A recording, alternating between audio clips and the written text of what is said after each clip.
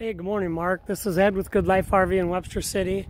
Uh, I noticed you've researched this product probably a ton, but just thought I'd do a quick walkthrough video of the of the 21G we have. Um, obviously, you have the slide on this side. You got the tailpipe for your um, generator. Um, you got the nice rims, ladder on the side, pretty common.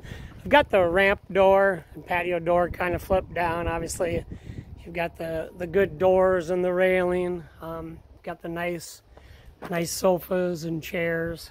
Um, so I thought it'd just be a little easier to see coming in, you know, from the back. You've got that beaver tail, but really nice furniture. These, of course, make into beds, and then you also have that other bed, you know, up above.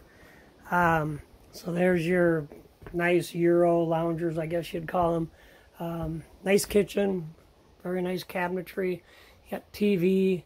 Um, you got that nice stereo uh, in here, and then of course you have the bedroom slide. So kind of two ways to get into that. You can come in here from the unit itself. Of course, that's a queen bed.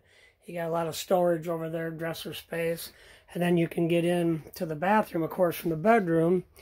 Um, or we can come around through here, and there's a little pocket slider door, and we can kind of come in that way.